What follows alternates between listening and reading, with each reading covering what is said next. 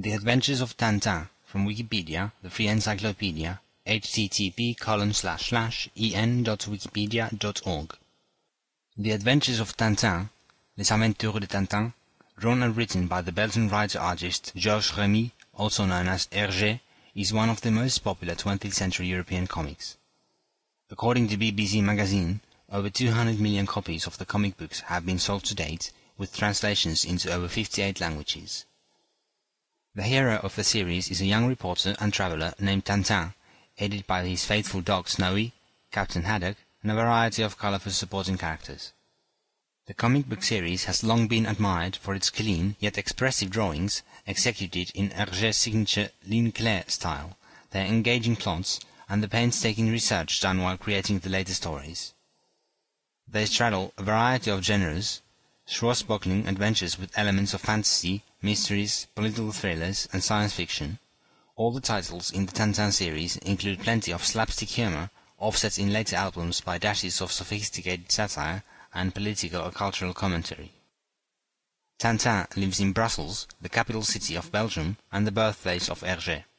This is evidenced most notably in Tintin in the Land of the Soviets, where the text states that Tintin arrives in Brussels as he returns home after his adventure, and in Tintin in Tibet, where the letter sent to Tintin by his friend Chang is addressed to Brussels.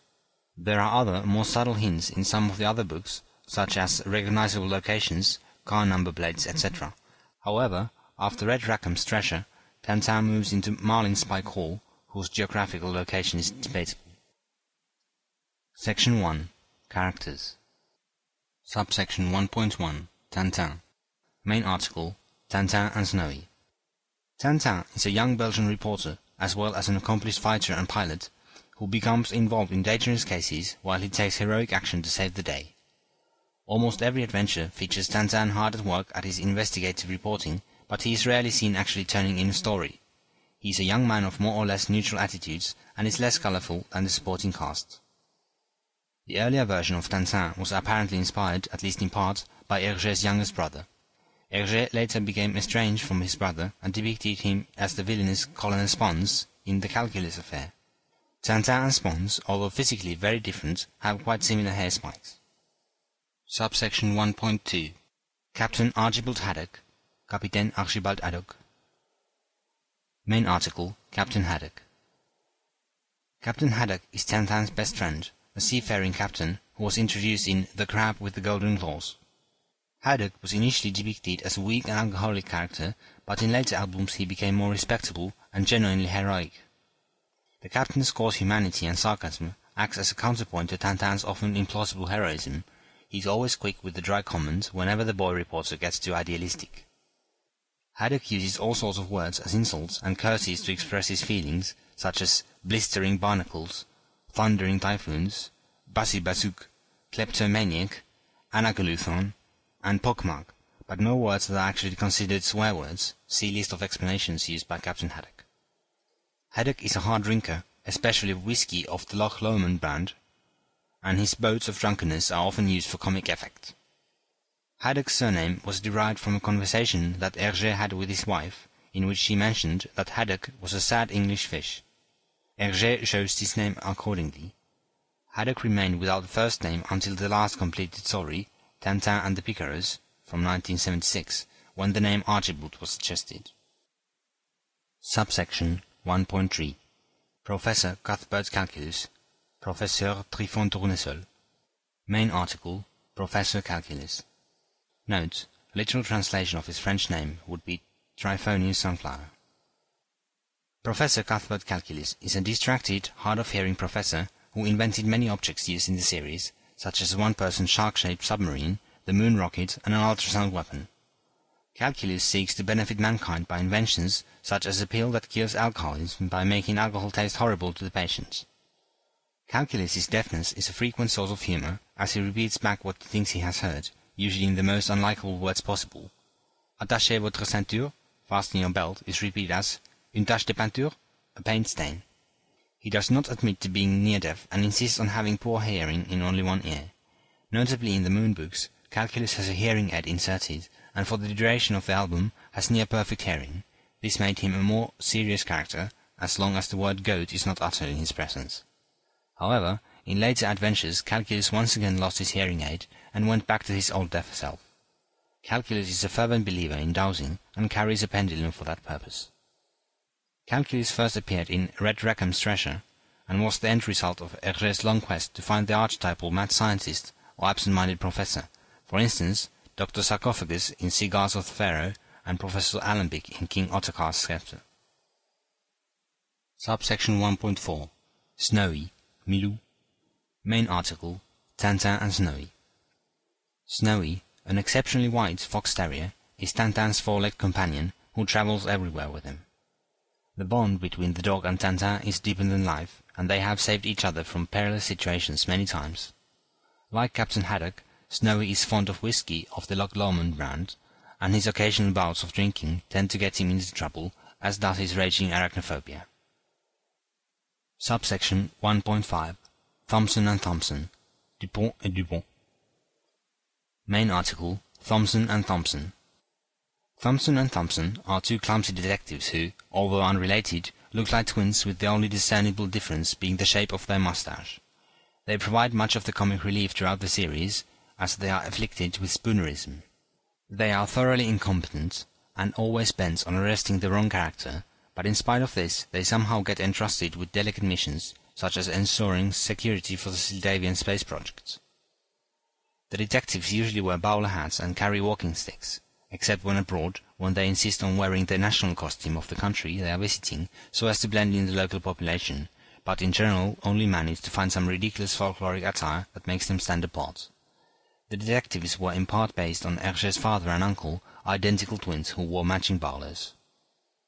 Subsection 1.6 Minor Characters C. List of the Adventures of Tintin characters and Minor Characters in Tintin. Section 2 Fictional countries. Hergé devised several fictional countries later in the series. Sildavia in particular is described in considerable detail, history, customs, language, etc. Sildavia in the Balkans is by Hergé's own admission modelled on Albania, and is threatened by neighbouring Borduria, and attempted annexation appears in King Ottokar's sceptre.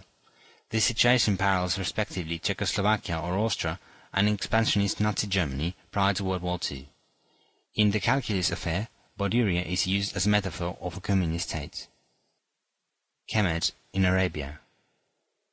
San Theodoros in South America, a prototypical banana republic where US-based companies and Borduria, meant as an allusion to the USSR, view for power, with advisers of local generals. Sao Rico in South America. Nuevo Rico, bordering San Theodoros. The two countries go to war over oil in the Broken Ear, which is parallel to the 1930s Chaco War between Paraguay and Bolivia. Nuevo Rico was also added as a reference in later versions of The Shooting Star. The original version had the bad guy masterminds as stereotypical Jewish American puppet masters. The later version darkens their skin tone and inserts Nuevo Rico as a reference. El Chapo, after the South American Chaco region. The Broken Ear is set in a war inspired by the Chaco War. Sondonesia, a country in Southeast Asia, said to be undergoing a civil war with rebels for hire. Rastapopoulos' hired gun, Allan, recruits Sondonesians as gun-toting muscle in Flight 714. They appear to be thinly disguised Khmer Rouge, and Hergé's insistence that Sondonesia is in a state of civil war shows amazing clarity of vision as to the true state of the conflict in Cambodia at the period. The name Sondonesia is a portmanteau of Sunda and Indonesia. Bill Jardania and Poldavia are both mentioned in The Blue Lotus, Bill Jardania is mentioned on a newsreel that Tintin views while hiding in the cinema from the police. The Poldavian consul gets mistaken for Tintin in a beard and wig in the Blue Lotus opium den. Gaipajama, an Indian principality based on those that existed during the British Raj, is mentioned in Cigars of the Pharaoh. Section 3 Race and Colonialism The earliest stories in The Adventures of Tintin have been criticized for racist and colonialist leanings including characterized portrayals of non-Europeans. However, Hergé changed his views sometime between these early works and The Blue Lotus, published in 1936. This story, set in China during the then current Sino-Japanese War, was the first for which he did extensive background research. It criticized Japanese and Western colonial meddling in China and helped to dispel popular myths about the Chinese people, though it does contain flagrant stereotyping of Japanese people. From then on, meticulous research would be one of Hergé's trademarks. Some of the early albums were altered by Hergé in subsequent editions, usually at the demand of publishers. For example, at the instigation of his American publishers, many of the black characters in Tintin America were recolored to make their race white or ambiguous. The shooting star originally had an American villain with a Jewish name, who was changed to an American with a less ethnically specific name in later editions, and subsequently to a South American of a fictional country. The Broken Ear depicted a tribe of head shrinkers, which Hergé originally named the Bibaros in reference to the real-life Jivaros, Shuar people.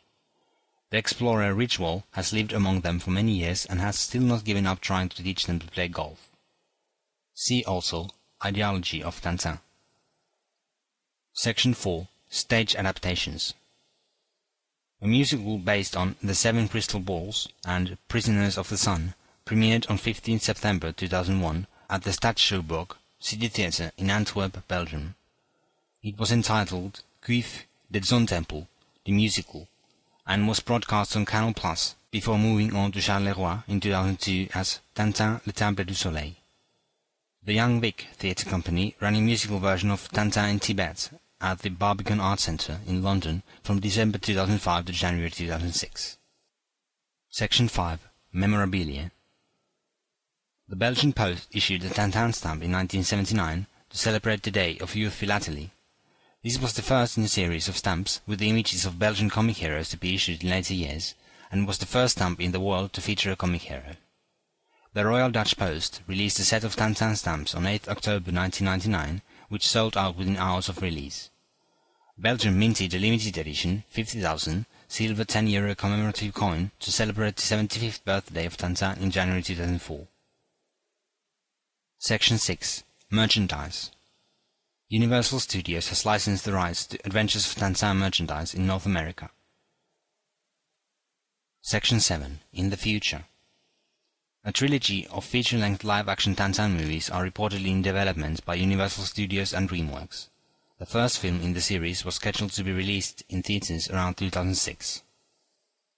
A video game, The Many Adventures of Tintin, is being developed by Vivendi Universal and is scheduled to be released for the Nintendo Revolution, Sony PlayStation 3, and Microsoft Xbox 360 in North America, Europe, and Australia around 2006. A collection of 21 Adventures of Tintin coloring books based on the original stories is scheduled for release by Dalmatian Press in the United States around 2006. The Many Adventures of Tintin in Universal Orlando Resort, as well as the Tintin Shop and Captain's Kitchen in the City Walk complex, are scheduled to be opened around 2006. A limited edition of Ellipse Nelvana's The Adventures of Tintin TV cartoon series is scheduled for release on DVD in the United States by Universal Studios Home Video around 2006, containing 39 half-hour episodes in seven volumes. Section 8 In Popular Culture Charles de Gaulle once said, My only international rival is Tintin. We are both little people who are not afraid of big ones. In the 1979 film Kramer vs. Kramer, Ted Kramer, Dustin Hoffman, is seen reading to his son the part of Red Rackham's Treasure, where Tintin descends into the ocean. Indian movie director Satyajit Ray was a Tintin fan and he had shots of Tintin comics in some of his movies. The American comic strip Get Fuzzy has had several references to Tintin over the years. Thomson and Thompson appear in the Asterix comic, Asterix in Belgium.